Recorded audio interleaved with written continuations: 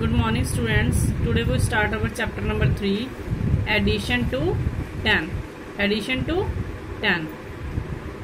Read this one heading count and add. Count and add. Count now. How many fingers? 1, 2, 3, 4, 5. In box here write 5. 1, 2, 3, 4. How many fingers? 4.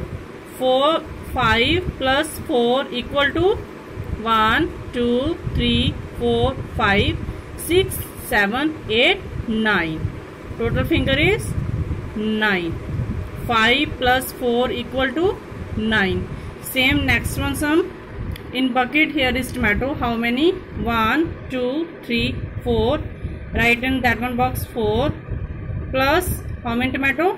1. Write here 1 equal 4 plus 1 equal to 5. Total tomato is 5. Number 2. Add the numbers. Here given are numbers 1 to 10. 5 plus 4. 5 plus 4 equal to 9. This one two sum do by self. Thanks and have a nice day.